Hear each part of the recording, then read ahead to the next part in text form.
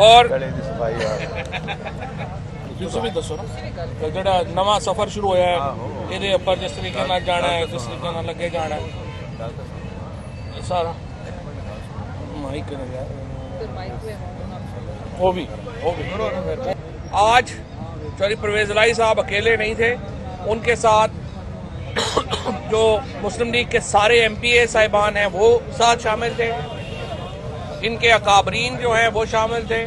और मोनस अलाई साहब और हुसैन अलाई साहब जो मुल्क से बाहर हैं उनकी भी पूरी जो हमायत है वो अपनी पार्टी के साथ थी। और और मूसा साहब भी जो है वो भी हमारे यहाँ पे आज मेहमान बने हैं। और जो मुद्दा हमारा था वो ये था कि जब ये मामला चला तो दो बातें हमारे सामने पेश नज़र थी। एक बात ये थी कि मुस्लिम लीग कायद आज़म के साथ इतिहाद हो और हम अगला इलेक्शन इकट्ठा लड़ें, या मुस्लिम लीग कायद आज़म को पाकिस्तान तरीके इंसाफ में जम कर लिया जाए। इन दोनों के ऊपर बड़ी तवील बहसें हुई हैं, बड़ी तवील गुफ्तगु हुई है।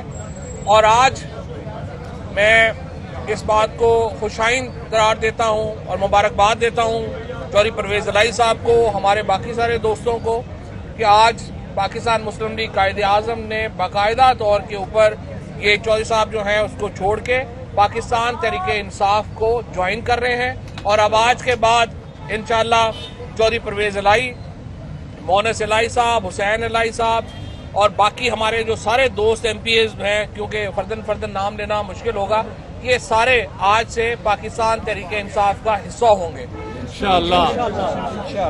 और इमरान खान की क्यादत में इंशाल्लाह एक नए पाकिस्तान की जदोजहद में ये जो नए साथी शामिल हुए हैं हम इनको खुश आमदेद कहते हैं और हम उम्मीद करते हैं कि इनका ये सफ़र बहुत अच्छा होगा और ये सारे हम एक उस मंजिल की तरफ़ बढ़ेंगे जिसकी क्यादत इमरान खान के पास है और उनकी सरबराही में इंशाल्लाह हम पाकिस्तान में ये जो एक नया पाकिस्तान का ख्वाब है वो पूरा होगा। मैं यहाँ पे ये ज़रूर बता दूँ कि चौधरी परवेज इलाई साहब ने और उनके दोस्तों ने जो तरीके इंसाफ के साथ खड़ा रहने के लिए कुर्बानियाँ दी हैं, वो बेपनाह है। आज तकरीबन डेढ़ हफ़्ता हो गया है मोहम्मद खान भट्टी साहब, जो तरीके, जो प्रिंसिपल सेक्रेटरी थे चोई साहब के, उनका कुछ पता नहीं है। जो जैगम गोंदल साहब, जो कज़न है मोने साहब के, उनका कुछ पता नहीं है। और उसके बाद आमिर रां, जो सेक्रेटरी थे लाहौर हाईकोर्ट बार एसोसिएशन के वो छः दिन उनको गायब रखा गया। इरफान उससे पहले गायब हुए उनको तीन दिन गायब रखा गया। जो एम पी ए साहबान आपके पीछे खड़े हैं हर एक एम पी ए के ऊपर बदतरीन दबाव डाला गया। लेकिन ये सारे एम पी ए साहबान एक सीसा पिलाई दीवार की तरह परवेज लाई के साथ खड़े रहे और परवेज लाई साहब एक सीसा पिलाई दीवार की तरह इमरान खान के साथ खड़े। ये वो क्रेडिट है जो चौधरी परवेज अलाई साहब का और उनके साथियों का है और इस मुश्किल सूरत हाल में जिस तरह से इन्होंने हमारा साथ दिया है इन हमने भी उसी तरह से ही जो है वो इनका साथ देना है। आज पहला कदम ले लिया गया है।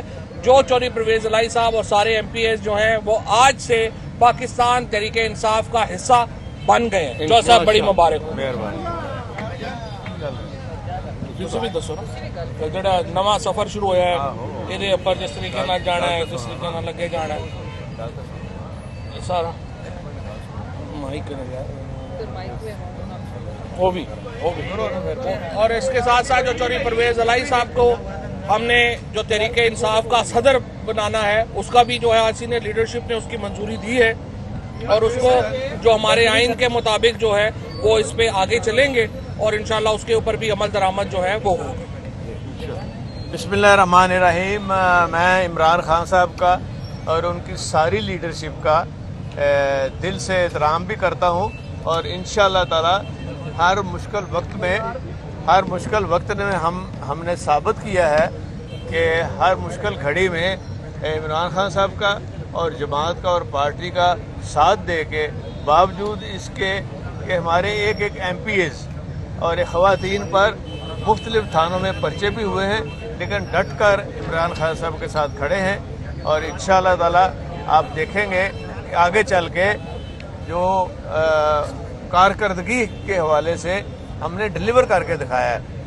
बेशक 2002 से लेके नाइन तक मुझे चीफ मिनिस्टरशिप मिली तो बेहतरीन काम हुए जिसमें वन वन टू टू जैसे अदारे बने और जो छः माह अब मिले हैं, मिले थे चीफ मिनिस्टर के तौर पे। बाद में हमने खुद इमरान खान साहब के कहने के ऊपर जाके असम्बली भी डिज़ोल्व कर दी।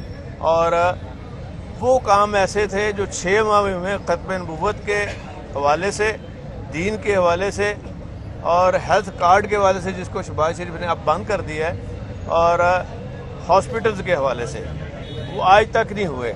और इन ताला, अल्लाह ताला ने हमें मौका दिया तो इसी तरह ये खिदमत जारी रहेगी। और इमरान खान साहब का साथ हमेशा साथ होगा हमारा और हमारे लोगों का, हमारे साथियों का। हम हर वो काम करेंगे जिसमें पाकिस्तान का, मुल्क का, पंजाब का फ़ायदा होगा और अपने साथियों को मज़बूत करेंगे। और कोई ऐसी, ऐसा काम नहीं होगा जिससे कि खुदा हास्ता हमारी जमात को, पीटीआई को कोई नुकसान पहुँचे। और आपने देखा कि इतनी स्पीड से काम आज तक नहीं हुए।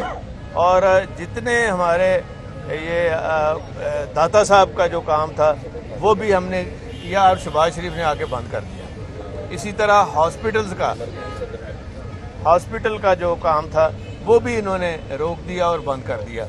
और हर वो जो सड़क, तरक्की की सड़क थी और जो देहातों को मिलाती थी, फार्म टू मार्केट रोड, उसको भी बंद कर दिया।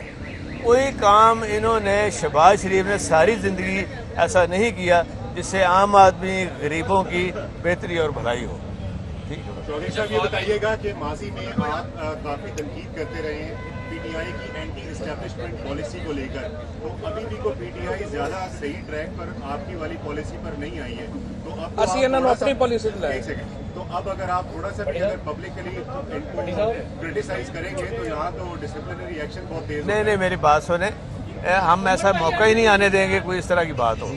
अच्छा बाबा ये बताइएगा कि आपने कहा कि सदर को अहदा दिया सदर बनाया जाएगा? सूबाई सतह पे या पार्टी लेवल पे? ये क्लियर कर जो मरकजी सदर बनाने की सिफारिश जो है वो सीनियर लीडरशिप ने की है। उसका ज़रा प्रोसेस है। वो प्रोसेस खान साहब ने कह दिया है कि बनाना है आपको। हाँ, खान साहब ने कह दिया आपको मरकजी सदर बनाया जा रहा है आप ओवरऑल पाकिस्तान में काम करना पसंद करेंगे या पंजाब फेवरेट करोगे आपका? जो पार्टी की ख्वाहिश होगी जो इमरान खान साहब हमारे लीडर की ख्वाहिश होगी उस तरह काम करेंगे। इंशाल्लाह।